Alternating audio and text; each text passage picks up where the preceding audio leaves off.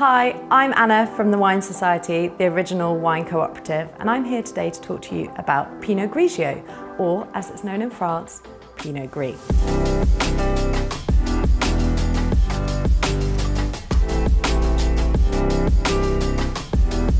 If you're a fan of Pinot Grigio, chances are you've been drinking a style from the northeast of Italy, and possibly most likely from Veneto. Here, they pick the fruit early in order to keep the acidity nice and high. It'll be a racy wine with lemons, limes, possibly some green apple, and maybe even some nectarine flavours. If you're drinking Pinot Gris, most likely you'll be drinking a wine from northeast of France and a region called Alsace. In Alsace, they make Pinot Gris in a range of styles, from bone dry to lusciously sweet, and they tend to be of a richer flavour and are perfect for pairing with foods. So, if you're a fan of Pinot Grigio, why not try an Alsatian Pinot Gris?